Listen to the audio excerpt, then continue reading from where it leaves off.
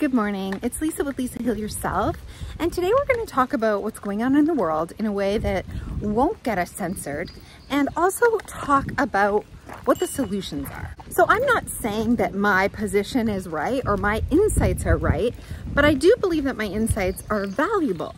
So I think everyone's are. And so I think it's important. And the number one thing that we need, we need to remember here is that censorship is, is not the way forward. Learning, learn better and do better is the way that we evolve, right?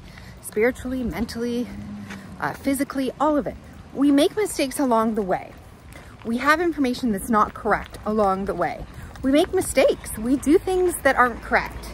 And we learn and grow. And when things affect us personally, we often take them more seriously. We dive into more information and we make choices uh, to improve our life when we notice them failing in certain areas, whether it's relationships or spirit spirituality or um, with our careers or in medicine or uh, with politics or our food choices or whatever. So often we don't, we just kind of go along with the status quo until something affects us personally. This is what I find. And when something does affect us personally, at that point, we learn more, we research more, and we take all this information, we learn, we grow, we make new choices, we learn, we grow, and we evolve as human beings. This is how progress happens. This is how we evolve. This is how we become better, smarter, kinder, happier, uh, more balanced, well-adjusted human beings. Sorry, down here, there's real pockets of wind. So I'm, I'm doing my best. So my video is coming from a perspective of somebody like me who has been, who has swung and lived on the extremes on many different issues, okay? Who lived in the middle and who also lived on an extreme and then swung to the other extreme. So I think it's valuable that we look and listen to this because I think it's all the same issue. The issues that we're having and struggling on in the world today with food, with um, abortion, with LGBTQ plus rights, with Republican and Democrats, with the vaccine versus non-vaccines, with all of it. It's the same debate playing out in a different way. It's the same discussion playing out in different areas of our life. And this is what I believe is the problem. Firstly, a lot of us as human beings have control issues okay? We spend a lot of our life trying to be in control, stay in control, and control other people. We want, we want things to be the way we want them to be, okay? The problem is we're not always right. So we don't know everything. Every human being does not know everything, and every human being is not right about everything that they believe in. But we want to control everything including the world, our relationships, and all the people in it to be, think, and act like us. One of the great dichotomies of all of this is that we have a hard enough time controlling ourselves and we will never control anyone else, okay? We will never control the people in our lives, even our children, our spouses, our closest relationships, okay? We should focus on ourselves. Why would we think that we can control others? the people closest to us, and people at large all over the world. If we can't even control ourselves, right? How often have you wanted to make a decision but do something else? How often have you tried to do something but your subconscious programming and beliefs take over and you're not able to do it? Like this is why people have addictions. This is why people try to lose weight and can't. This is why people, you know, are unhealthy and try to get healthy and can't, right? we want to do something, we believe in something, but we can't often even control our own thoughts, our own beliefs, our own bodies, our own choices, our own decisions, our own, our own everything, right? So why would we think we have any chance at controlling other people or the world at large? So my biggest message here is to stop controlling, right? You can only control yourself. And even that, we fail miserably at as human beings. But focusing inward, focusing on yourself, focusing on becoming the best human being that you can become, evolving, growing, learning, doing, changing yourself is the best thing that you can do to help the world at large. And oftentimes that means acknowledging that we're not always right. We don't always know everything. And we may believe one thing one time and believe something else at another time in our life, depending on our personal experiences and relationships and how we learn, grow, and develop and evolve and grow beyond our limitations, our beliefs, and things that we once believed and now we believe something different. So saying that, we need to leave everybody else alone. We need to mind our own business and we need to focus on ourselves, our own decisions, what we can control and what we can't control, what we can do and what we can't do. And that is the best way to help everyone. And that is the best way to live in a society and share in a society. It's the best way for your marriage. It's the best way for everything is to like, yes, you can say your opinion, but you, if you spend your whole relationship trying to control the other person, that relationship will fall apart, right? It's when we allow people to be who and what they are, we allow them to make mistakes, we allow them to express the way they express, we allow them to be the full, complete version of who they are and let their own experiences and beliefs and value systems guide them and hopefully make them into better human beings along their own personal evolution and their path of life. And the way that we do that is we put knowledge out into the world.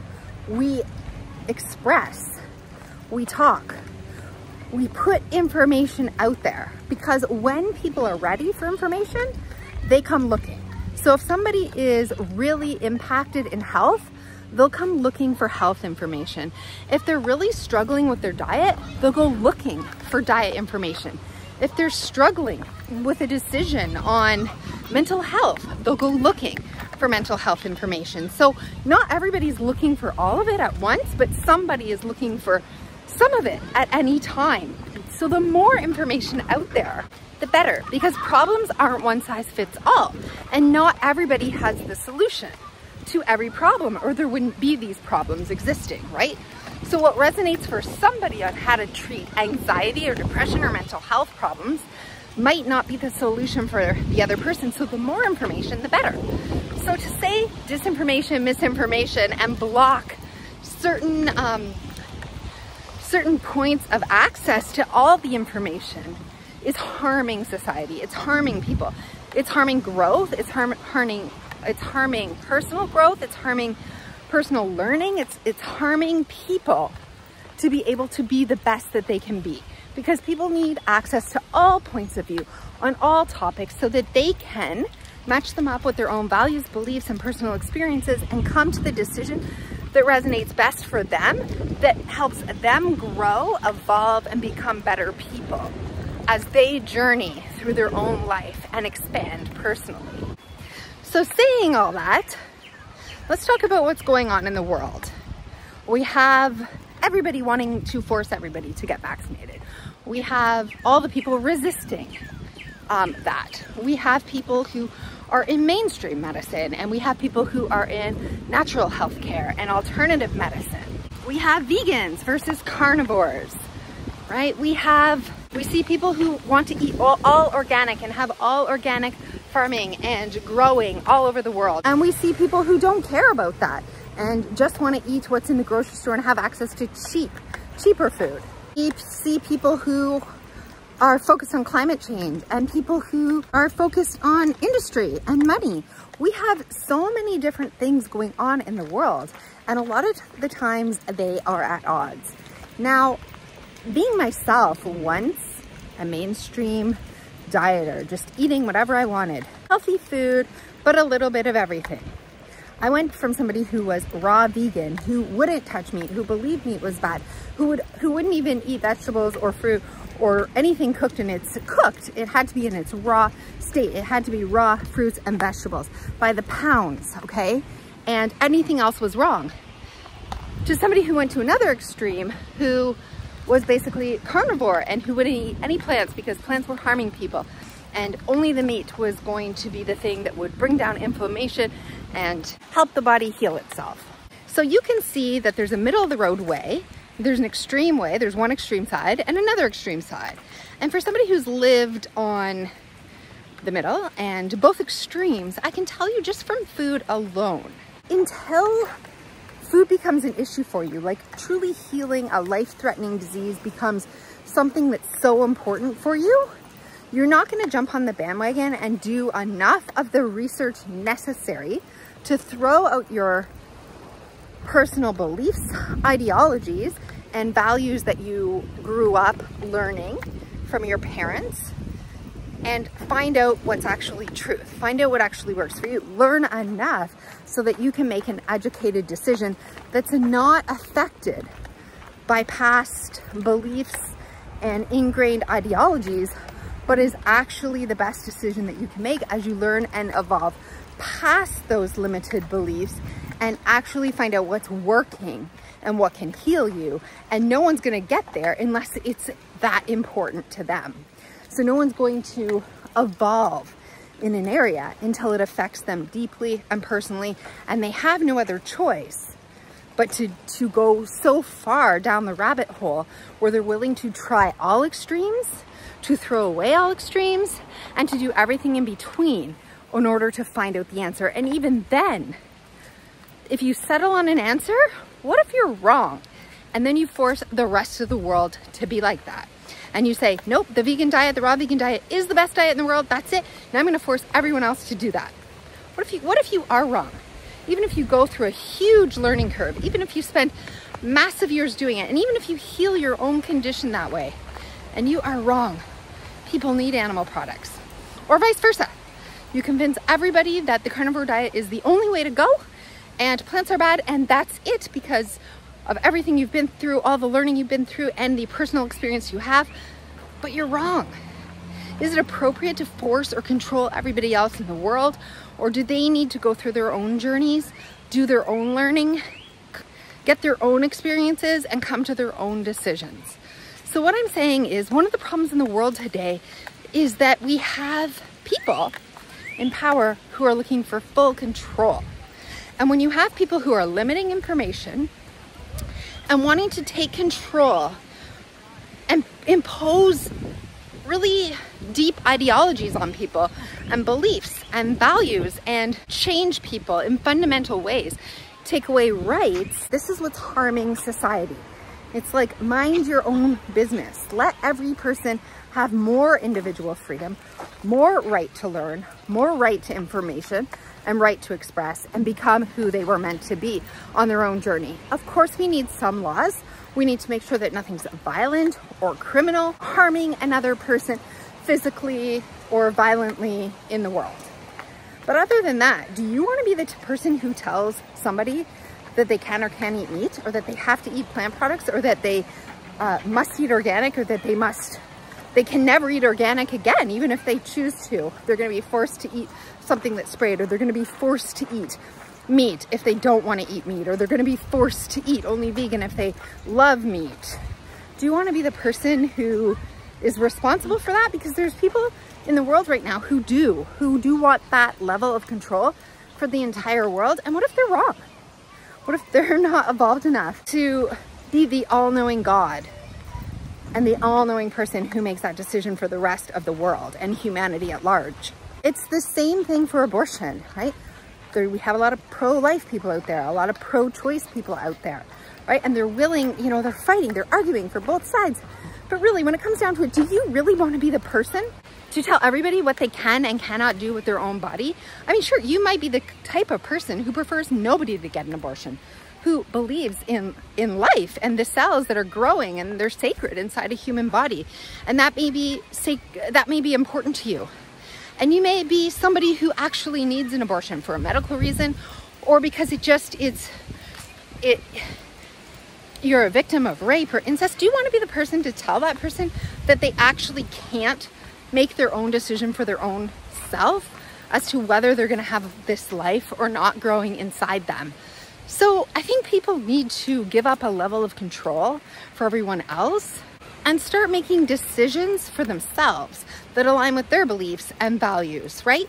Because somebody who's a staunch uh, pro-life supporter might actually come into a situation in their life where they're, they actually need to have an abortion, okay? And that is how people change extremes where it has affected them personally and in a personal way that they hadn't seen that perspective from until right that moment. And that is how they might be somebody who needs an abortion, get one, and realize that their stance was wrong. They evolve, they learn, and they grow. Or oppositely, they may have they may be somebody who's had an abortion for maybe a reason that wasn't that great. And later on in their life, they have a lot of emotional scars and trauma and they have to work through this. And they realize and they come to realize that that life was sacred and it was a part of God's plan, not their plan. And that, you know, they feel deep regret and they learn and grow and make new decisions based out of their own personal experiences. So I think if we all stop for a minute we can realize that we can see both sides of any argument. All of us can see both sides of any argument. And all of us probably believe in some points on each side, of any argument because that's what it means to be a human being. Now there are people who are totally one way and totally the other way, but most of us fall in the middle somewhere and that's just how it is with life. Most of us, you know, most of us do fall in the middle. Most of us can see things from all sides. And the people who can't see things from both sides, the people who are extreme in one direction or the other, are usually people who have had an experience that is so dramatic and so personal that it has affected them so greatly that they can only see it from one side because they've been so personally affected by something. And when they see the truth of something, because it's so personal to them, they share what they know. And we see this from people on all sides. And those types of stories, those types of anecdotes, those types of far extreme people who speak out on topics because it's affected them so personally are the stories that we all need to hear. They cause us to shift and grow and look at things from other points of view and other perspectives that we may never know unless something affects us that greatly. So these outliers on both sides are so important and so necessary. And even though the far right or the far left can seem extreme or scary, they have points of view that are important for all of us to look at and learn from so that we can help align those with our own personal beliefs, values, and experiences and get new perspectives that we may not have seen before. This helps us strengthen our own values and it helps us make decisions that teach us to grow and help us grow and evolve in ways that we might not and faster than in ways that if we, you know, have to have this personal experience for ourselves. So say somebody who's a, a, victim of rape can teach us something and someone who's a victim of medical malpractice can teach us something and someone who has been injured by the vaccine and has a massive story and someone who's been saved by the vaccine and has a story can all teach us things that we, if we're open and if we listen and we're willing to listen, they can teach us things and help us learn and grow and evolve without having to be the one who was injured by the vaccine. It, it helps us open our mind to new perspectives, new ideas, and we can either take what people say and throw it away as like, this just doesn't align with me at all, or it can help point us in new direction and new learning that we hadn't thought of until now. When it comes to Republicans and liberals, when it comes to abortion, non-abortion, when it comes to vaccine, non-vaccine, when it comes to somebody like me who's very black and white as to whether you know, I believe in the mainstream healthcare model or the natural healthcare model. I'm very, very black and white on that. I was the other way at one point in my life. I believed in the mainstream way. I didn't want any voodoo natural healing, but I had a personal experience. I went through something that was life-changing, life-altering. I changed, I grew, I evolved. I learned things that no other human being should have to learn. And then I made new, I have new value systems now. And I have new things to share and teach. And people who are open to that might not have to go through what I went through in order to get to the same end point. Now, I would never want to force my ideology on anyone either. I want people to have options for all medical care, right? From mainstream all the way to the most alternative and not have anybody block access to any of that information because you don't know where anybody is along their journey, along their own experiences in life or what they're dealing with. And it may mean different things to different people and things that you think might be extreme or harmful may be exactly the thing that somebody else needs in order to save them. So it's not up for us to make these grand sweeping gestures.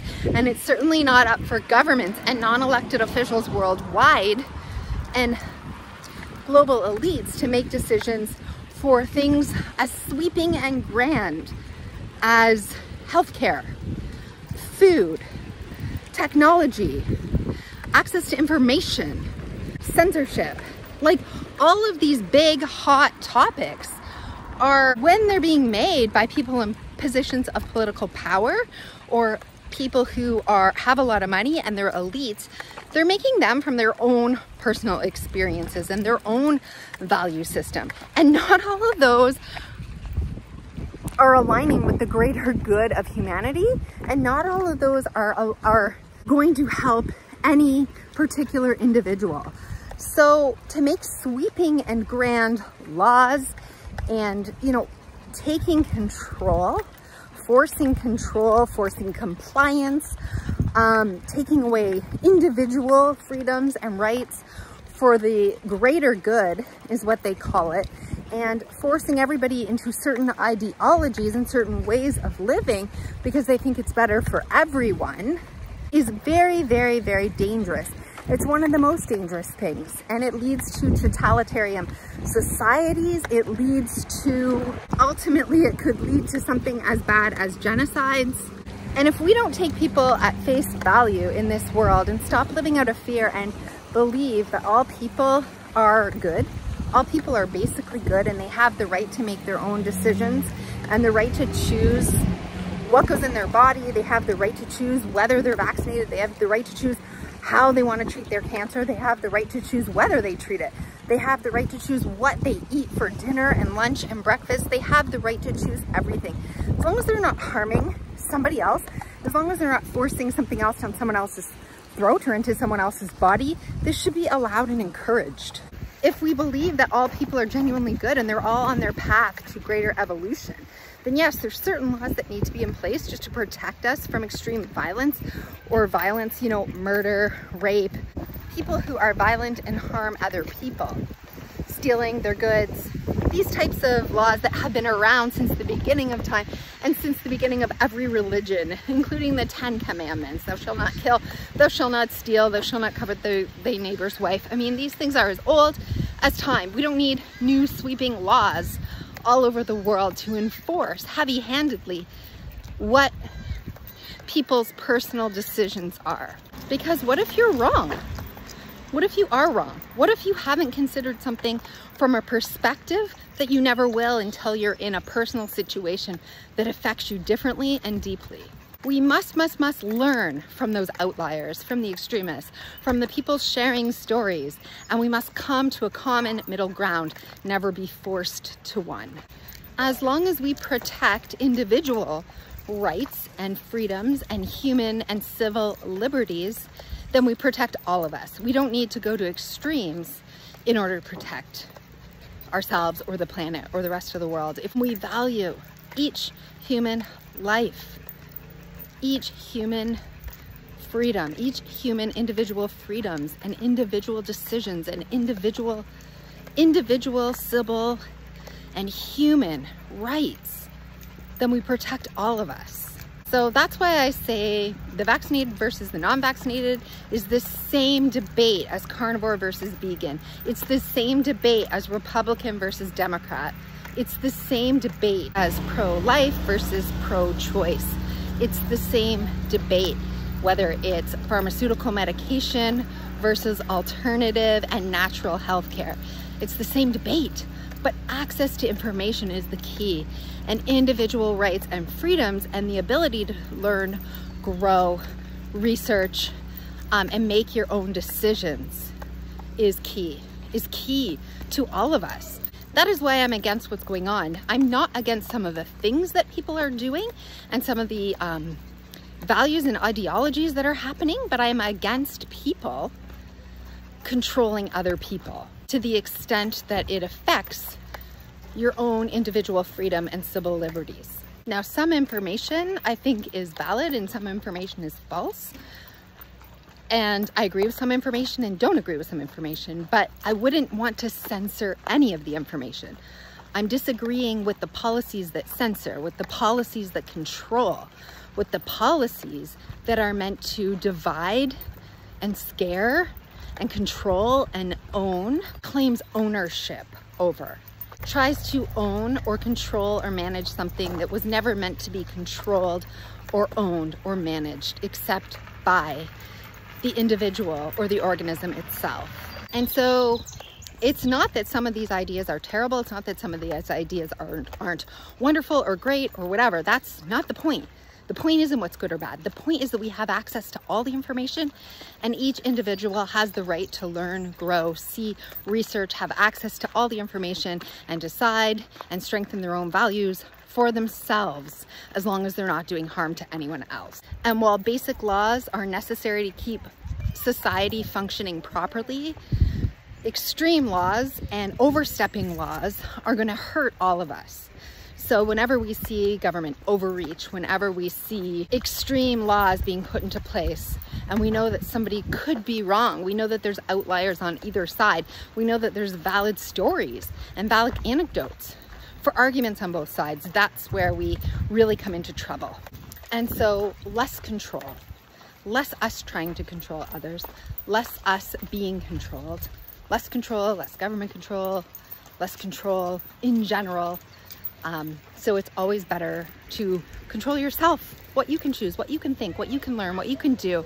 And if you can control yourself, you have a heck of a lot better chance on making an impact in the world or influencing somebody else for the better. Your individual freedoms matter. Your individual choices matter. What you do matters. You have so much power in your own ability to think, learn, grow, rationalize, your decisions, what you do on a personal level matters. So exercise your rights every chance you get and try to be better, do better, learn better, grow better, evolve into a better human being. Anybody, especially right now, governments, elites, anyone who is vying for world control and world domination, this is not the way. A single dominant person in power giving rules and dictating to other people, right? We have the left versus the right fighting. We've got Russia fighting Ukraine. We've got uh, China and the US and organizations like the WEF and captured organizations um, and regulatory agencies and bodies when they're, when they're getting policy coming down from elites, from people who have financial control and who stand to gain a lot of power and who want superpower control of the world, we have to be very careful. Everybody right now is fighting and trying to emerge as the world dominant superpower. They're vying for world control. It includes land. It includes resources. It includes data. And it includes human beings for resources, for information, and for actual literal human beings. We are not for sale. So I hope this video has been helpful and useful. Give it a like, share it around, and I will see you in the next one.